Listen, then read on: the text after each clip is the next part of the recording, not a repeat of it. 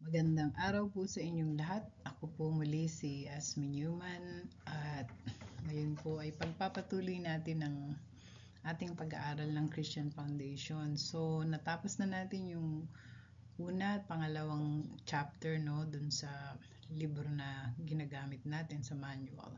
Tapos na natin yung uh, chapter on the Bible. Tapos, natapos na rin natin yung second chapter on God. So, ngayon naman po, ang pag-uusapan natin ay tungkol kay Jesus Christ. Pero bago po tayo dumiretso sa ating lesson, again, mag-spend time tayo ng a few minutes no, para mag-review. So, meron dito mga discussion questions na na pwede nyong uh, pag-usapan, pagtalunan uh, in small groups of two or three kung nasa klase kayo o kung nag-iisa lang kayo, pakisulat na lang sa papel ang inyong sagot at uh, ipasa nyo dun sa inyong facilitator or teacher. Ito po yung tanong. Una, explain nyo po yung Trinity in your own words. So, sa inyong small groups o isulat nyo sa inyong papel, uh, ano po ba yung Trinidad? Paano po yung best way na pwedeng i-explain kung ano yung Trinity. Pangalawa po, na isa sa mga pinag-aaralan natin na katangian ng Diyos ay alam niyang lahat walang nakatago o, lihim sa Kanya. Wala siyang katulad in the sense na uh, kahit ano pa uh, tungkol sa um, history, tungkol sa uh, kasalanan ng tao. Walang, walang pwedeng magturo sa kanya, sabi ni Isaiah. Kasi alam niya na ang lahat. Meron tayong verse na binanggit no, na kahit hindi pa lumalabas yung salita sa ating bibig, ay alam na niya kung ano yung sasabihin natin. Kung gayon man, bakit kailangan pa nating manalangin samantalang alam na rin naman pala niya yung ating hihilingin. So, yung pangatlo pong tanong, uh, sabi dito, i-describe nyo sa inyong uh, sariling paraan kung ano ang ibig sabihin ng uh, kabanalan ng Diyos, yung holiness niya, at ang kanyang sovereignty. Ibig sabihin yung kapangyarihan niya na uh, sovereignty means siya yung nasusunod. Siya yung uh, Lord um, sa English Lord of all. Uh, siya ang namamahala, siya ang nasusunod sa kasaysayan ng mundo, ng bawat bansa, at kahit ng ating buhay. So, parang in-explain ko na pala, no? So, anyway, pag-usapan nyo sa inyong grupo, o isulat nyo sa inyong papel, ang sarili nyong definition o description ng uh, holiness o kabanalan at ng sovereignty ng bibigyan po namin kayo ng ilang minuto para gawin ito. Doon po sa mga facilitator, maybe you can pause the video no, habang sinasagot nila yung tanong. Sa ating pong pagpapatuloy, ang susunod na pag-aaralan natin ay tungkol sa uh, kay Jesus Christ. No? Sa yung naunang chapter, pinag-aralan natin kung sino ang Diyos. Ngayon naman po, pag-uusapan natin, pag-aaralan natin, titignan natin sa Biblia kung ano ang tinuturo nito tungkol sa ating Panginoong Jesus. Yan po yung picture nung, I think this is in Rio de Janeiro, dun sa tuktok nung um, bundok ay merong, ayan, kung nakikita nyo yung red dot, merong um, tribulto no, ni Jesus Christ. Of course, walang naka, walang walang picture o statwa na makakapag-claim na yun ang itsura ni Jesus Christ dahil hindi pa uso yung um, camera noon ano, or smartphone. So, sino nga ba si Jesus at ano ang mga mahalagang bagay na kanyang ginawa? So, una, sino po ba si Jesus Christ? Sabi po sa John chapter 1 verse 1. So meron po akong Bible dito sa aking tabi. So, kung meron po kayong mga Biblia, pwede niyong buksan at sabayan ako sa aking pagbasa. So, ito po yung Gospel ni John sa unang chapter, kapitulo, verse 1. Ang sabi, ng pasimula ay naroon na ang salita. Ang salita ay kasama ng Diyos at ang salita ay Diyos. No, sa English po, and the Word, in the beginning was the Word. No? And the Word was with God and the Word was God. So, ang tin tinutukoy po rito ay si Jesus. No? Um, kung pagpapatuloy po natin ang pagbasa sa verses 3 and 4, uh, ah, nilikha ang lahat ng bagay sa pamamagitan niya at walang anumang nalikha ng hindi sa pamamagitan niya. Nasa kanya buhay at ang buhay ang siyang ilaw ng sangkatauhan. So again, ang tinutukoy, tinutukoy po dito ay si Heso Kristo. At sabi dito, nilikha ang lahat ng bagay sa pamamagitan niya. So sa Genesis 1 and 2, nung nilikha ng Diyos ang, ang nature, you know, ang universe, at lahat ng hayop, at uh, mga pananim no, sa mundo, at pati mga planeta, mga bituin, at then yung bandang huli, ang, sang, ang tao, si Jesus po mismo ang creator no? sa, sa pamamagitan niya ni Jesus at walang anumang nalikha ng hindi sa pamamagitan niya. So, ibig sabihin lahat ng bagay, buhay o hindi, ibig sabihin living or non-living, ay uh, likha ni Jesus. At sinabi din dyan, na nasa kanya ang buhay at ang buhay ay siyang ilaw ng sangkatauhan. So yung pong buhay, eh, hindi po yan maipaliwanag ng maraming um, scientifico uh, na hindi naniniwala sa Diyos o sa mga spiritual na bagay. Sa kanila, lahat ng bagay sa mundo, pati ang tao, ay matter lamang no matter. Ibig sabihin yung kung ano man yung uh, bagay, sabi nga sa Biblia, tayo ay nilikha galing sa lupa. It's true na matter, pero saan galing yung buhay? Ano, bakit pag namatay yung tao, nandun pa rin yung katawan, pero nawala na yung nag energize o nag at saka nag-a-animate dun sa katawan, no? Ayun ang tinatawag na life. At sabi diyan, ang buhay ay nagsisimula sa kanya. So, ano pong um, matututunan natin dito na si Jesus ay uh, nariyan na sa simula't simula pa kasi siya ang may simula ng lahat ng bagay at ng sangkatauhan. So, dahil siya ang may likha, uh, ibig sabihin, nag, nandun na siya. Ibig sabihin, kasi kung created din siya, uh, eh, hindi imposible na siya yung creator create niya rin ba yung sarili niya hindi pwede no so ibig sabihin um, bago pa man nagkaroon ng uh, universe ng matter ng tao ay nandyan na siya sa kanya galing ang lahat so siya ay walang umpisa at wala rin siyang katapusan no? Pinag-usapan natin nung nakaraan ng Diyos ganun din uh, ang Diyos dahil si Jesus ay Diyos din parte siya ng Trinidad o ng Trinity wala siyang umpisa at wala rin siyang katapusan Now, ang isang kamangha-manghang bagay kay Jesus ay ang kanyang incarnation. Ano ba ibig sabihin ng incarnation? English po ito, no? Makikita natin siya sa John 1.14, same chapter, no? Uh, i-advance lang natin ng nag scroll po ako kasi ang aking Bible ay nasa nasa aking smartphone. Naging tao ang salita at nanirahan sa piling namin. Nakita namin ang kaluwalhati ang tunay na kanya bilang kaisa-isang anak ng Ama.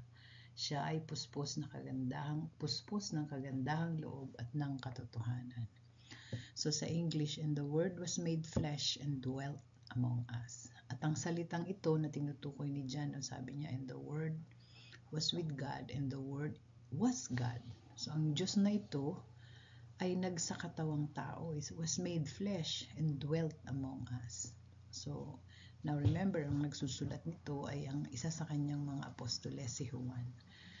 uh, nakita niya mismo, nakasama niya no nung uh, during the yung years of ministry ni Christ, isa siya sa mga tagasunod ni Kristo. So, si Jesus po ay Diyos. Bago siya bumaba sa mundo o nagsakatawang tao, siya ay Espiritu.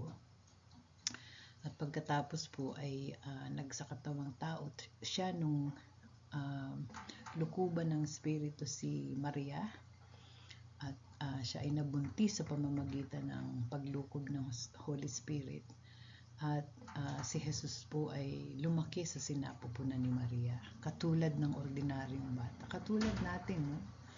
na nabuo sa sinapupunan ng ating ina. Ang kaibahan lamang ay ang tatay ni Jesus, kumbaga, ay ang Holy Spirit. No? So, so si Maria po ay hindi nanay ng Diyos. Siya lang po ang nagdala, nagbuntis no, ng ng uh, ni, ni Jesus. Pinagbuntis niya si Jesus. Um, at ang Holy Spirit ang dahilan kung bakit um, nung mabuo si Jesus at nang ipinganak, ipinanganak siya, hindi niya naman na yung kasalanan ni Maria. Kasi si Maria tao siya. Pinag-usapan natin nung uh, nakaraan na ang lahat ng tao ay makasalanan. Kasama dun si Maria.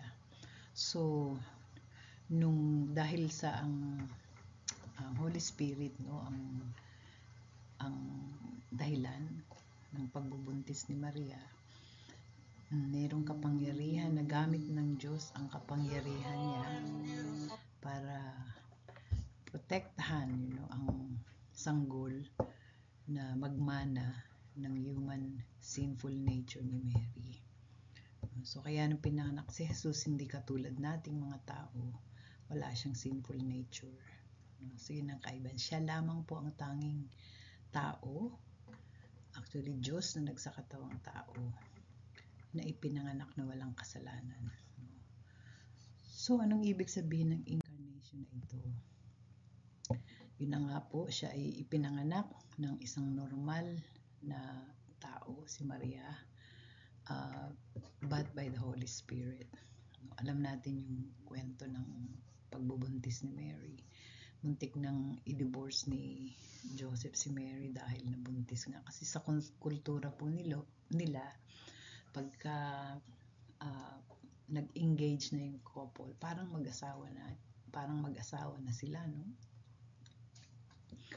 So, nung nabuntis si Maria, malaking kahiyan. Kaya ang sabi sa Bible, gusto siyang i-divorce ni, ni, ni uh, Joseph. Pero nagpakita ang anghel sa kanya at pinigil siya na hiwalayan si Maria. Pinaliwanag ng anghel na si Maria ay nilukuban ng Holy Spirit. At ang kanilang magiging unang anak ay ang pinang, minangakong Mesiyas. So, normal na tao siya na ibig sabihin nag, nagsimula sa sanggol hanggang lumaki at naging adult. No? Pero, Huwag nating kalimutan na si Jesus ay Diyos. At sabi ni Thomas no, nung nag-resurrect na si Christ, basahin natin siya no, sa John 20. Mas magandang makita natin yung nangyari at bakit sinabi ni Thomas yan. So, namatay si Jesus. Pagkatapos nito, katulad ng pangako niya, sa ikatlong araw na buhay siyang maguli nagpakita siya sa kanyang mga alagad. Um, so, umpisa natin sa verse 19. Ito po ay, uh, ito nakalagay dyan, no? John 20. Pero umpisa natin sa 19. Kinagabihan ng araw ding yun, na unang araw ng linggo, habang nakasara ang mga pinto ng bahay na kinaroroonan ng mga alagad dahil sa takot nila sa mga Hudyo, Dumating si Jesus. Tumayo siya sa kalagitnaan nila at sinabi, sumainyo ang kapayapaan. Pagkasabi nito, pinakita niya ang kanyang mga kamay at ang kanyang tagiliran. Tuwang-tuwa ang mga alagad nang makita nila ang Panginoon. Muling, muling sinabi ni Jesus, Sumainyo ang kapayapaan kung paanong isinugo ako ng Ama, isinusugo ko rin kayo. Pagkatapos sila'y hiningahan niya at sinabi, Tanggapin niyo ang Espiritu Santo Kung patatawarin niyo ang mga kasalanan ni man ay pinatawad na ang mga iyon. Subalit ang hindi niyo patatawarin ay hindi nga pinatawad. Umpisa natin ngayon sa 24. Ngunit si Tomas na tinatawag na kambal at kabilang sa labindalawa ay wala. Wala ron nung dumating si Jesus. Nung unang magpakita si Jesus, wala siya. Kaya sinabi sa kanya ng ibang mga alagad, nakita namin ang Panginoon. Nagpakita siya, no? Sumagot si Tomas, hindi ako maniniwala hanggat hindi ko nakikita ang mga butas ng mga pako sa kanyang mga kamay at hanggat hindi ko na ilalagay ang aking daliri sa mga iyon at mahahawakan ang kanyang tagiliran. Makalipas ang isang linggo, so one week, ang nakalipas, muling nagkatipon sa loob ng bahay ang mga alagad, kasama nila si Tomas. Nakasara ang mga pinto, ngunit pumasok si Jesus at tumayo sa kalagitnaan nila. So yun ang, kung na-notice nyo, no, yun, ano na, resurrected body na si Christ. Pero daladala niya pa rin yung katawang tao niya na meron pa rin bakas ng pako niya no, sa kamay at pati yung sugat niya sa tagiliran. Uh, naisipin nyo, bago nag ipinanganak si Jesus, nakatira siya sa langit, espiritu, pero uh, nagsuot siya ng katawang tao to identify with us, no? para mamatay sa krus para bayaran ang ating mga kasalanan. Kasi po, uh, dahil tao ang nagkasala, kung meron man pong sasagip sa atin, sa ating parusa, no, kunyari ako sabi ko, ikaw ah, ikaw ang nahatulan ng kamatayan, tapos sabi ko, Judge, pwede bang ako na lang, mama, uh, wag na lang siyang patayin mo, ito na lang aso ko. Di pwede. Kailangan tao rin. Pangalawa, kung ikaw yung magsasubstitute no or aangkin ng parusa, dapat wala kang kasalanan. Kasi kung kung kung makasalanan ka rin at uh, may hatol na kamatayan din sa'yo, nasabi ng judge, eh, hindi ka pwedeng magligtas ng iba kasi ikaw rin eh may hatol ng kamatayan. So talagang si Jesus lamang ang tunay na may kapangyarihan na mamatay sa krus para sa atin. Dahil siya ay uh, tao pero tao so pwede siyang pumalit sa atin ano. Parang sa basketball, hindi pwedeng i-substitute dun sa team yung hindi mo ka-team. Yung nakaupo sa bleacher mag maglalaro ano as a substitute. Hindi, dapat yung ka-team mo rin o ganun. So ganun din. Dapat tao rin ang papalit sa'yo uh, magsasubstitute no, na tatanggap ng parusa mo. Pangalawa, dapat wala siyang kasalanan. No? So, yun nga ang nangyari, namatay siya, pero nung nag-resurrect siya, dala-dala niya pa rin, suot-suot niya pa rin ang, ang katawang tao. Uh, hindi niya, parang kumbaga sa damit, hindi niya hinubad. Naisip niyo ba yun?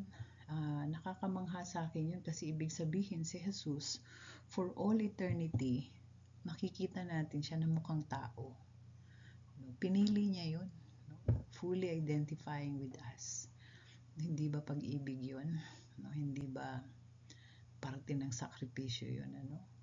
So, nung na-resurrect na si Christ, uh, yung katawan niya, iba na kaysa dun sa unresurrected body. Nakakapasok siya sa mga pintong nakasara.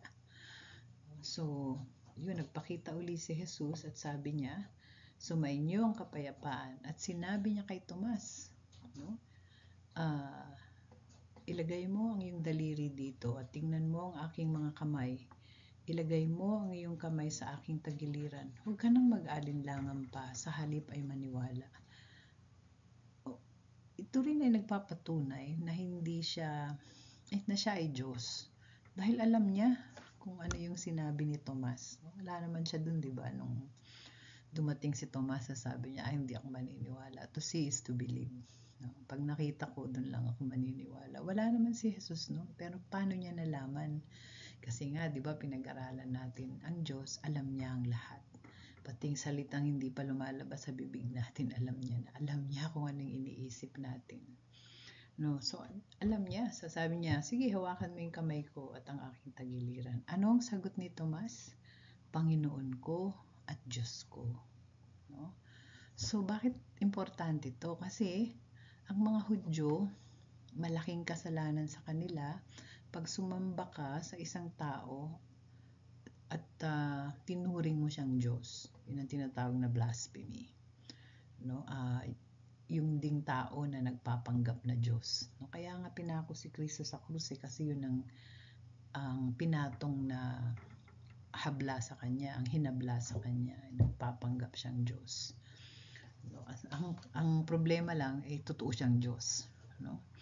So, ta si Jesus, kung hindi siya Diyos, uh, dahil Hudyo siya, sasabihin niya kay Tomas, huwag mo akong sambahin, hindi ako Diyos. Mali yan, malaking kasalanan yan sa ating dalawa. Pero, hindi siya kinorek ni Christ. Ibig sabihin, tinanggap niya ang pagsamba ni Thomas. No? Sabi ni Thomas, Panginoon ko at Diyos ko. So, siya ay Diyos. So, si Jesus, both uh, tao at Diyos. No? So, bakit kailangang Diyos ang ang magliligtas sa atin sa ating mga kasalanan? Pwede bang tao lang na perfect, no?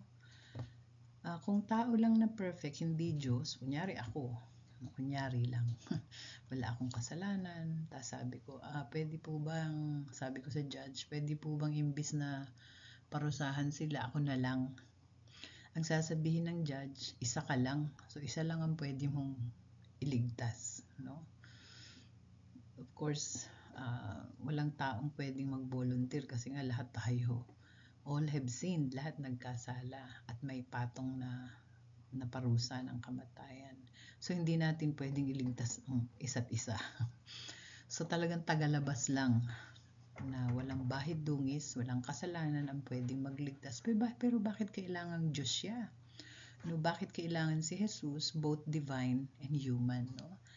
Yung pagka-divine niya, yung pagka-Diyos niya, ang nagbibigay ng uh, halaga so that yung pagkamatay niya sa krus, sabi ko nga kung tao lang siya, isa lang ang pwede niyang iligtas. Pero dahil Diyos siya, yung pagkamatay niya sa krus ay sapat para bayaran ang lahat ng kasalanan ng sanglibutan, lahat ng taong nabuhay mula pa nung panahon ni Adan at ni Eva hanggang sa huling taong ipapanganak at mabubuhay bago mag-end, uh, you know. Uh, dahil siya ay Diyos, ang kanyang dugo ay may kapangyarihan na magpatawad ng kasalanan ng lahat ng sangkatauhan. Nakuha nyo?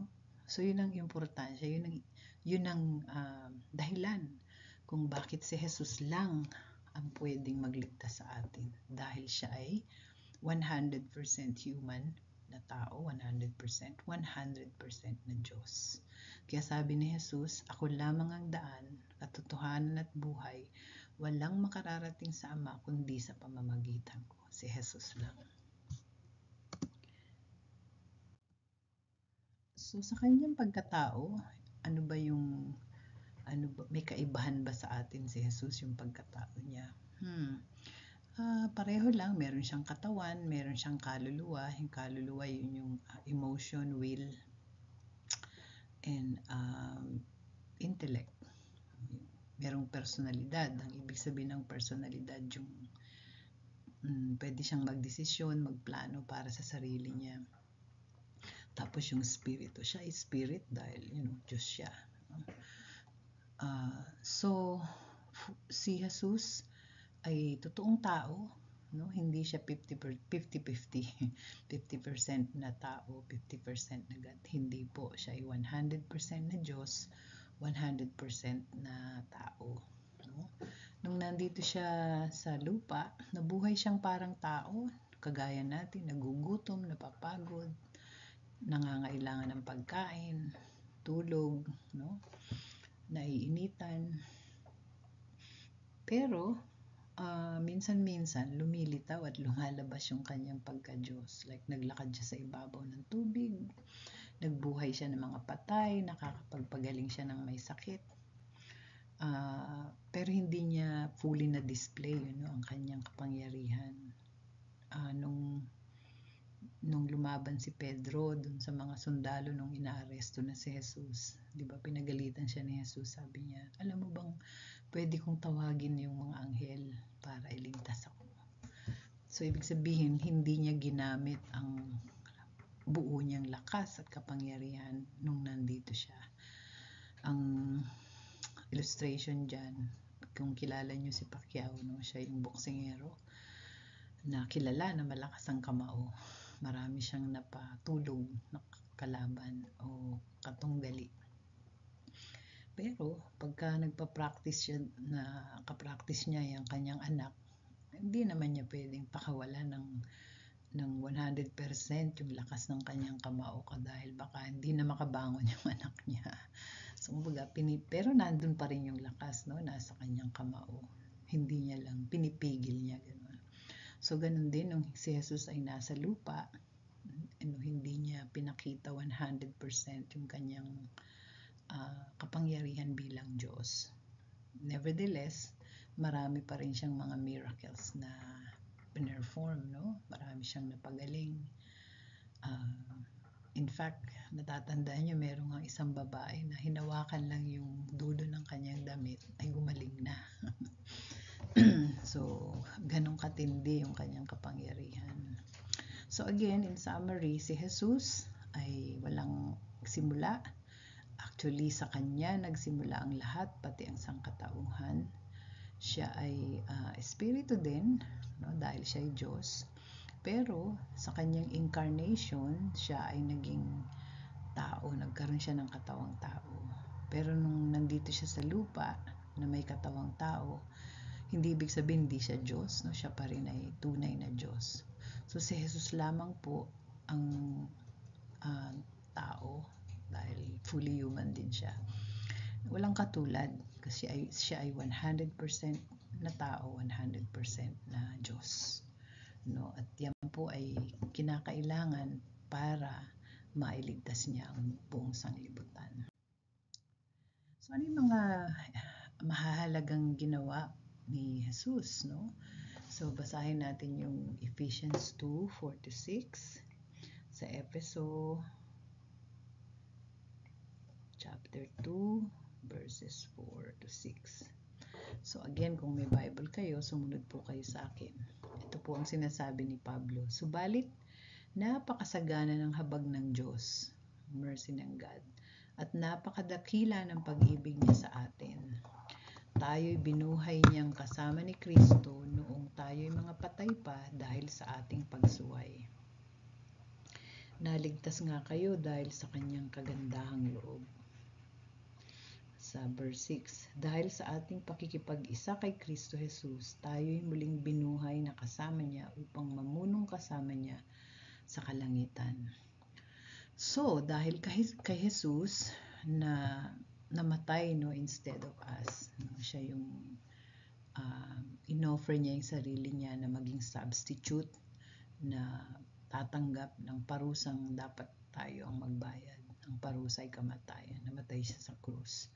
Dahil dyan ay na-reconcile tayo sa Diyos. No? In justification, ibig sabihin, kasi nung bago uh, nung, nung hindi pa yan nangyayari, nung hindi pa namamatay si Kristo sa krus, uh, lahat tayo ay tinuturing na kaaway ng Diyos.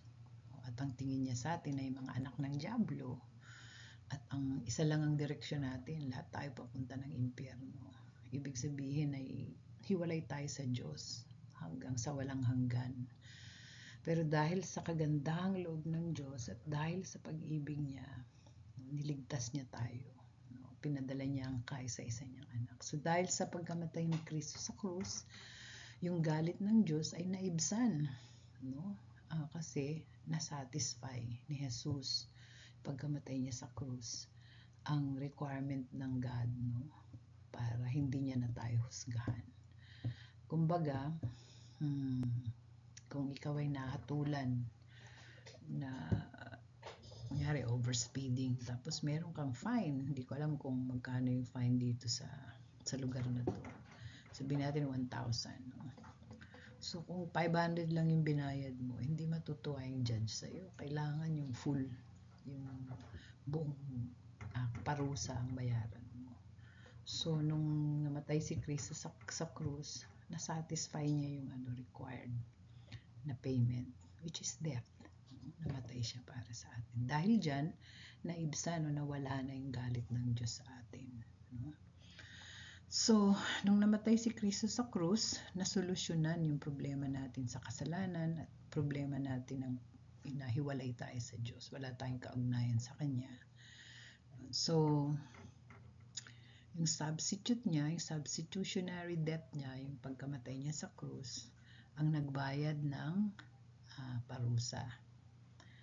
Uh, so, yung parusa, dahil bayad na, wala na, tanggal na. Kumbaga sabi ng judge, okay, you can go. Kasi meron nang nagbayad, nagpiansa na, nagpiansa, piansa na sa'yo or nabayaran na yung dapat mong bayaran.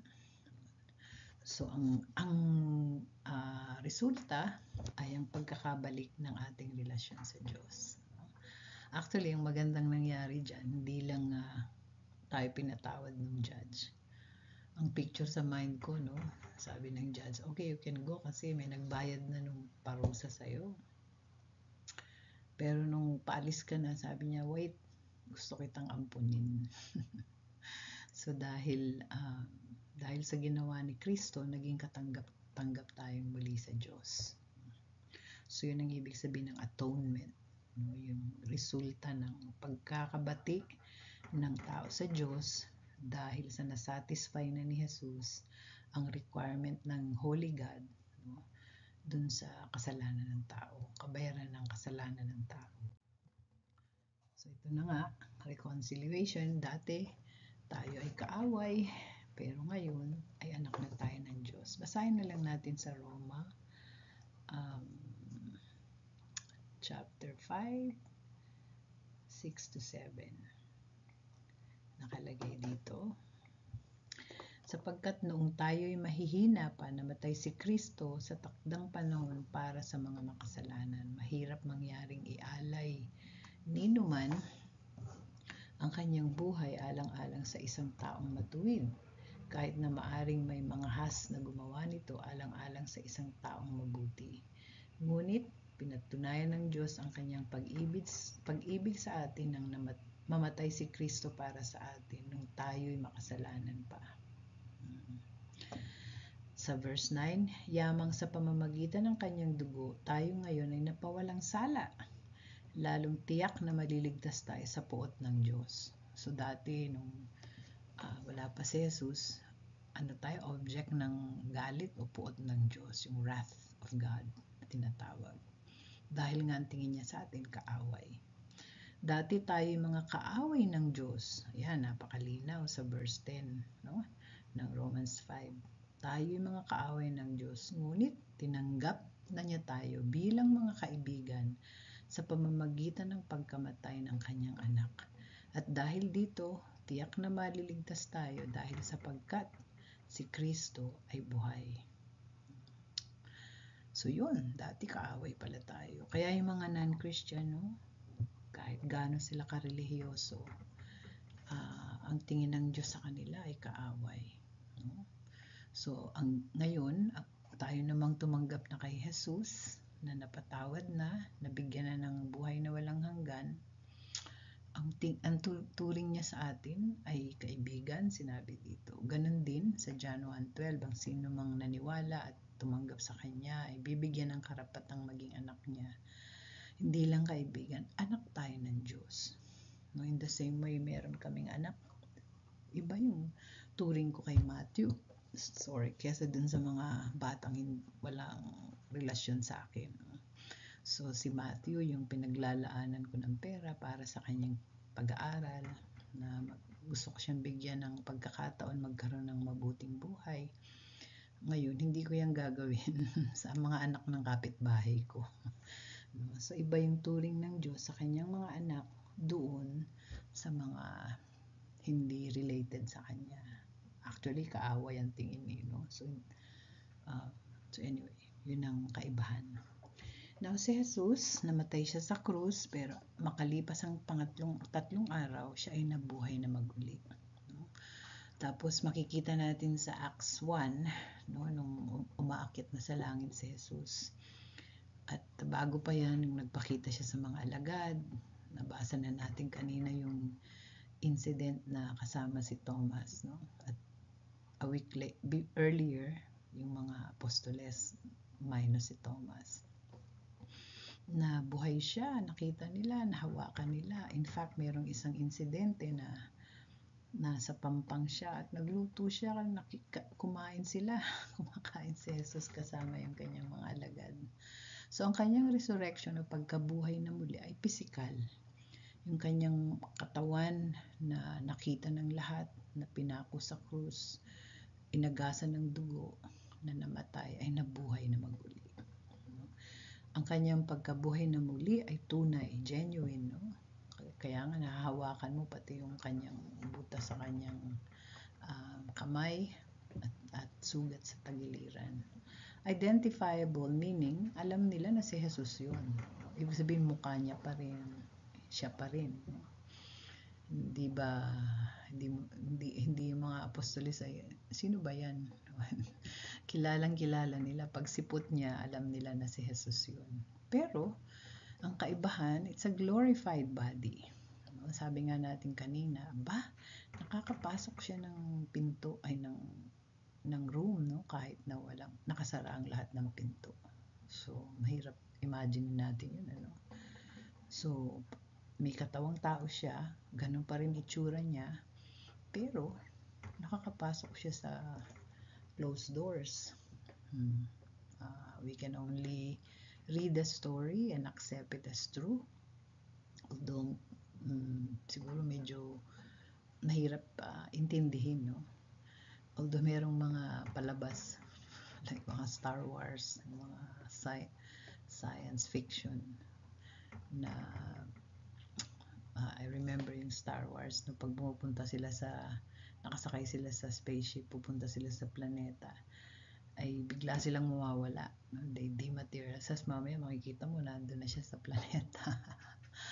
so, I don't know kung pareho nun. Pero parang ganun, no? May ibang power yung, ano, yung resurrected body.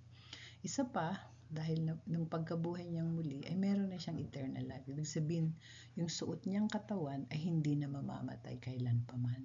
No? So, forever and ever, yun na yung suot niyang katawan. So, tayo rin, pinangakuan tayo ng Panginoon na magre-resurrect din tayo. Ibig sabihin yung itong ating katawan, kung mamatay tayo during resurrection day, papalitan siya ng glorified body. In the same way, yung resurrection body natin ay physical, genuine, ibig sabihin tunay, identifiable, kamukha mo pa rin, pero glorified na siya at eternal na siya. Ibig sabihin, yung, glorified body ay hindi na pwedeng patayin o mamatay, hindi na pwedeng magkasakit.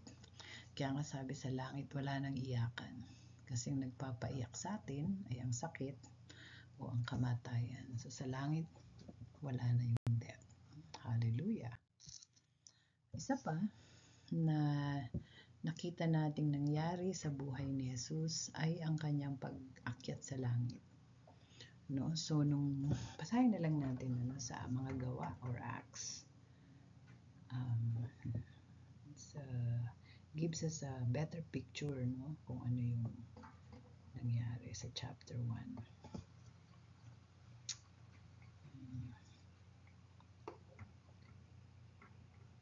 So, um,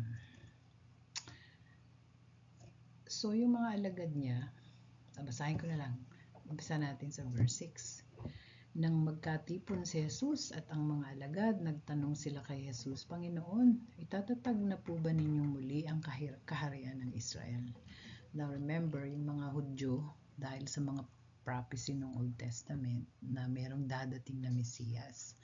Kaso, ang pagkaintindi nila ang Mesiyas ay political savior kasi nga lagi silang under ng some foreign ano invaders no Like, nung nasa Egypt sila, slave sila doon. Nung panahon ni Jesus, slave sila or under sila ng mga Romano. So, naghahanap sila ng tagapagligtas na mag-aalsa laban dun sa kanilang mga um, uh, sa atin conquistadores no, yung mananakop na banyaga. So, nabuhay na maguli si Christ, nakita nila may power siya, ba nakakapasok siya ng pinto. Baka ito na yun. Baka baka magsisimula na siyang ano, magtatag ng military para mag-alsa sa mga Romano. So yun ang ibig sabihin nila nung tinanong siya, Panginoon, itatatag na po ba ninyong muli ang kaharian ng Israel?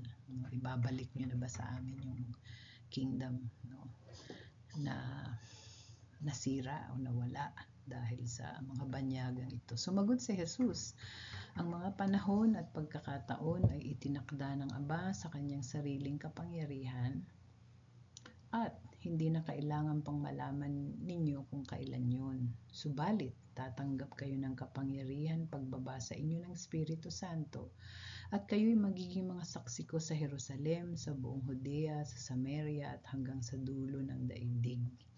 So, ano yung sagot ni Jesus? Uh, bago yan, meron pang importanteng kayong dapat gawin. No, so, hindi naman niya sinabing na uh, hindi mangyayari yan ang sabi niya lang, ang mga panahon at pagkakataon ay itinakda ng Ama. So parang sagot niya, sa tamang panahon mangyayari yan. Pero sa ngayon, uh, pagbaba ng Holy Spirit, kayo ay magiging mga saksi ko mula dito sa Jerusalem hanggang sa dulo ng daigdig. Kasi nga naman, namatay siya sa krus no? para bayaran ng kasalanan ng sanglibutan. So yun yung gospel ay kailangan nating ipagsabi. Kasi kung hindi natin, hindi nila ipagsasabi, hindi makakarating sa atin ano, ang good news. Sayang yung pagkamatay ni Christ cross. Walang nakakaalam. No? Kumbaga, uh, lahat kayo may utang sa tindahan dyan sa kanto. Binayaran ko na. Pero hindi ko sinabi sa inyo. so, kung hindi nyo alam yung good news, hindi kayo mag, mag uh, be-benefit, no? hindi kayo mag enjoy Ganon din, namatay si Christ sa cross, bayad na yung kasalanan natin. Kung tatanggapin lang natin bilang gift, no, yung salvation na in-offer niya, na pwede ka nang mapatawad sa kasalanan, pwede ka nang maging anak ng Diyos, kung tatanggapin mo lang yung nangyaring pagkamatay at pagkabuhay ni, ni Kristo sa cross bilang kabayaran ng kasalanan mo no? at nabuhay siyang muli na nagpapatunay na siya nga ay tunay na Diyos. No? So kung hindi mo alam yun, walang nakakaalam, ay sayang naman ang pagkamatay niya. So, yun ang sinasabi niya sa mga apostoles. No? Mm, mangyayari yan sa tamang panahon. Pero ngayon, no, kailangan yung humayo. Pagsabi nyo. No? Mm, sa, sa pamamagitan ng banal na spirito na lulukob sa inyo, kayo ay magiging witnesses o testigo sa lahat ng mga nangyari o naganap sa krus. So, pagkatapos niyang sabihin yan, ang sabi dito sa verse 9, pagkasabi nito, si Jesus ay iniakyat sa langit habang ang mga alagad ay nakatingin sa kanya at natakpan siya ng ulap. So, nakita nila umaangat siya. Tapos habang sila ay nakatitig sa langit at siya iniakyat, may dalawang lalaking nakaputi na lumitaw sa tabi nila. Sabi nila, kayong mga taga Galilea, ba't kayo nakatayo at nakatingin sa langit? Itong si Jesus na umakyat sa langit ay magbabalik, gaya ng nakita niyong pag-akyat niya. So, ibig sabihin kung paano siya umangat ng unti-unti sa langit hanggang sa mawala is the same manner sa pareho rin ng kanyang pagbalik. Ito'y magiging visible dun sa, sa lugar na yun, dun sa specific location. At makikita siya ng lahat. Dati inisip ko, paano siya makikita na nandito ako sa Pilipinas? Aba ngayon, may smartphone na. O di merong live, live, live, uh, live Facebook. so lahat talaga ng tao makikita si Jesus no, na bumababa sa langit. Kasi yun ang pangako niya, babalik siya. So, anong ginagawa ni Jesus ngayon? No? Sabi sa 1 John 2, 1 and 2, tingnan natin. Ang sinasabi dyan ay si Jesus ang ating advocate. No? Ano ba ibig sabihin ng advocate? 1 John chapter 2 uh, 1 and 22. Sabi niya, sabi ni Juan, no, nagsulat nito, mga anak, sinusulat ko ito sa inyo upang huwag kayong magkasala. Ngunit kung magkasala ang sinuman, may tagapagtanggol tayo sa Ama, si Heso Kristo ang matuwid. So siya ang ating tagapagtanggol sa sa Ama. Kasi itong si Satanas, merong verse na nagsasabing araw-gabi ay inaakusa niya tayo sa harap ng Diyos. Parang sinasabi niya, tama si Esme, anak mo ba yan? Nagmarites na naman or nagsinungaling or kung ano man yung kasalanan ko. No? Pero ang sasabihin ni Jesus, Ama, totoo, pero bayad na yung kasalanan na yan nung namatay ako sa krus. No? Siya yung uh, nag, hindi naman sa ang Diyos kailangan ng ano ng tawag diyan ng reminder no but yun ang sabi just maybe by his mere presence na nakaluklok siya sa kanang kamay ng ama ay enough na no to prove to defend na siya siya mismo yung depensa natin sa mga umaakusa sa atin.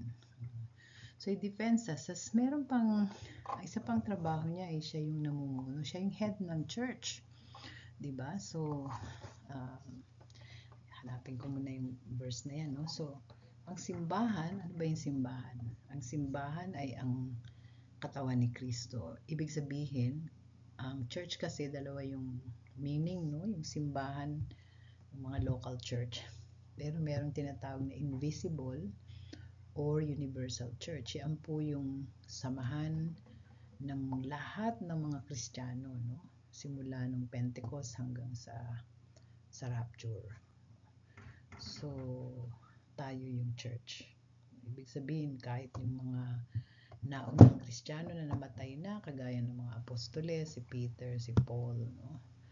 sina Saint Augustine, yung mga Kristiyanong buhay ngayon at mabubuhay pa at mamamatay sa future, ay kasama dyan sa tinatawag na church. No? So, sandali po. Hanapin natin yung, maghanap tayo ng verses na nagsasabi yung um, na si Jesus ang pinuno o namumuno sa lahat ng simbahan. Uh,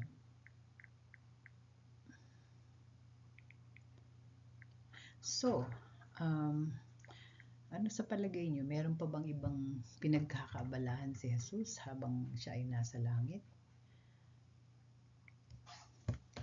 So, siya yung defense attorney natin. Ganun din, siya rin yung namumuno sa simbahan. Sabing ganun sa Efeso, chapter 1, verses 22 to 23.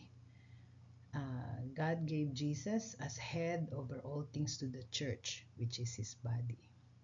So, si Jesus ang pinun namumuno sa simbahan, no? Dahil siya ang may likha ng lahat at saka siya din ang nagpasimuno ng ating kaligtasan.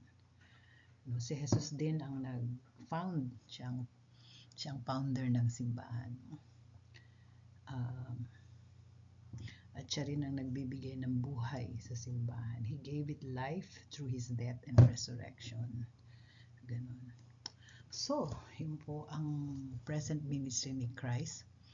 At sinabi na natin kanina na nangako siya na babalik siyang muli. Ito po yung itong verses dito sa John 14, 1 to 3, ang isa sa mga paborito kong verses. Basahin natin, no? Juan, Kapitulo uh, 14, chapter 14. Kung meron po kayong Bible, again, sundan niyo po ako at basahin natin kasabay. Sa Gospel ni John, chapter 14, simula sa verse 1. Kausap ni Jesus ang kanyang mga apostoles. Sabi niya, huwag kayong mag- mabagabag. Ito'y malapit na kasi siyang hulihin at patayin. No? So, kinocomfort niya yung kanyang mga apostoles. Huwag mabagabag ang inyong kalooban. Suman- sumampalataya kayo sa Diyos, sumampalataya din kayo sa akin. Sa bahay ng aking ama ay maraming silid, or many rooms. No, mayroong ibang version na sabi, many mansion. Kung hindi ito totoo, sasabihin ko ba sa inyo pupunta ko roon upang ipaghanda ko kayo ng inyong matitirhan? At kapag naipaghanda ko na kayo ng matitirhan, ako'y babalik at isasama ko kayo upang kayo'y makapiling ko kung saan ako naroroon. Ba, gandang pangako yan. Umalis siya para i-prepare ang ating titirahan sa langit. Actually, ito pong pangako na to ay uh, pangako ng groom sa kanyang bride. Sa, sa kanila nga pong kultura, pagka engaged na kayo, no? So, ang gagawin ng, ano, ng lalaki, magpapatayo siya ng bahay, kung malaki yung property ng tatay niya, doon sa lugar nila, o sa property ng tatay niya. Na kung medyo mahirap yung tatay niya, silid lang, room lang.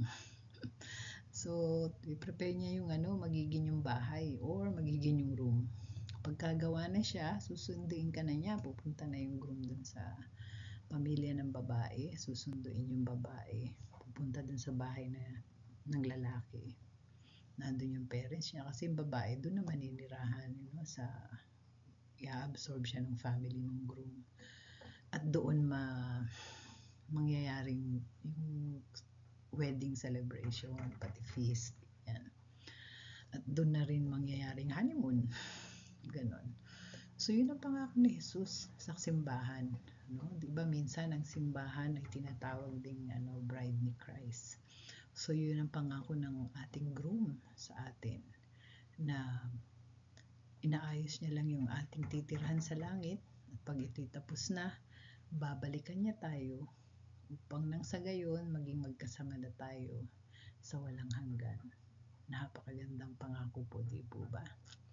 So, yan po ang ating, uh, dito po nag, nagtatapos uh, ang ating pag-aaral tungkol kay Heso Kristo.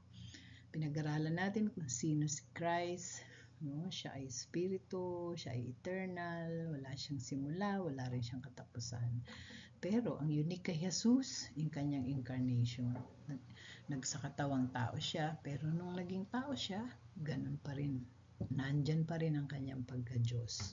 At kaya po yan nangyari, kaya po siya na-incarnate para po pwede siyang mamatay sa krus para bayarin ang ating kasalanan at hindi lang ng ilan sa atin kundi lahat ng kasalanan ng sanglibutan dahil siya ay Diyos.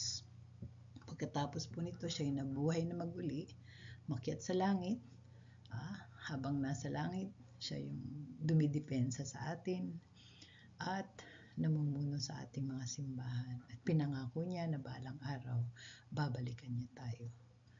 Uh, napakagandang pangako.